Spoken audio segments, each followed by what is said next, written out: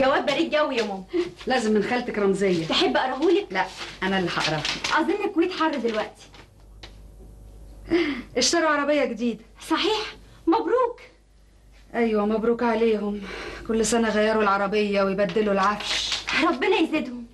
وأنا يا بنت بحسدهم. طبعا ربنا يزيدهم.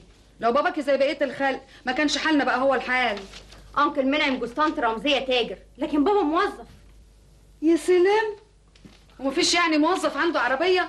ما تشوفي الراجل اللي اسمه فتحي فهيم جارنا ده. اهو موظف جربان وما يسواش ثلاث تعريفة لكن عنده عربية. حضرتك عارفة إن الراجل ده إيده طويلة في شغله والناس كلها عارفة. انت مفيش حاجة عندك ملهاش رد؟ يا الله أنا نازلة رايحة أعدل شعري عند الكوافير. هتعدليه أكتر من كده؟ إيه بنت أنت بتغيري مني ولا إيه؟ عايزة الصراحة؟ آه.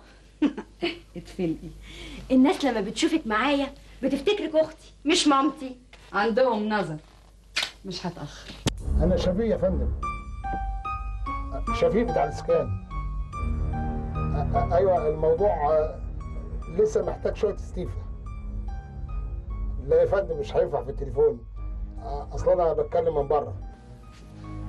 على قد الشوق اللي في عيوني يا جميل. سلم سلم ده أنا يا مجلوبي عليك سألوني يا حبيبي سلم على قد الشوق اللي في عيوني يا يا يا لطيف. سلم سلم. جنابك خارج؟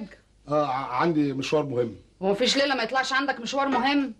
جراية نرجس يا حبيبتي. ما أنا كل يوم بخرج. أنا كمان عايز أخرج. تروحي فين؟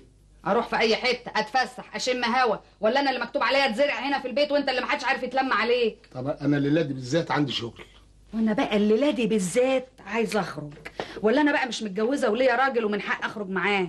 طب أجلي الكلام ده لبكرة. لا الليلة دي بالذات بقى يا شفيق. الليلة دي بالذات عايز اخرج يا شفيق. حكم انت زودتها بصراحة والانتكة دي زيادة قوي النهارده. يا نرجس يا حبيبتي عندي عندي لجنة. ارتحتي؟ إيه يا شفيق؟ انت فاكرني هبلة لجنة بالليل.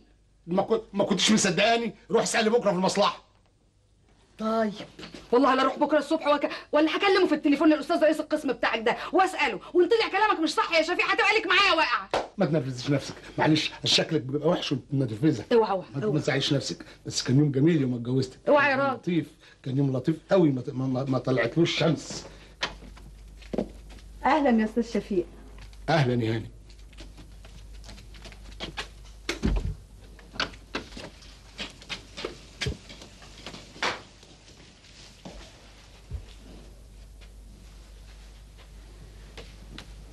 خير يا أستاذ شفيق. خير إن شاء الله.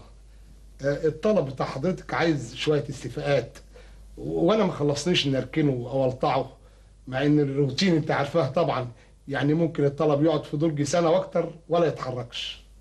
للدرجة دي؟ يوه وأكتر. الا حضرتك آه، تعرفي المراقب بتاعنا إزاي؟ أنا ما أعرفوش ولا حاجة. أنا راح أعمل طلب وسألت على البيه المدير دلوني عليه. هو راجل طيب. بس الموضوع كله في إيدي أنا. وطلباتك إيه يا أستاذ شفيق؟ نستوفي الإجراءات المطلوبة وإن كان ما عندكيش وقت نشوف حد يستوفاها. بس المسألة دي محتاجة شوية مصاريف. قد إيه كده يعني؟ يعني يجي 200 جنيه وفي الحالة دي يكون الطلب عندك في آخر الأسبوع. أنت مش شايف إن المبلغ ده كبير شوية؟ والله والله لو حد غيرك ما كنت طلبت أقل من 500 جنيه. عشان خاطري يبقوا كام يا أستاذ؟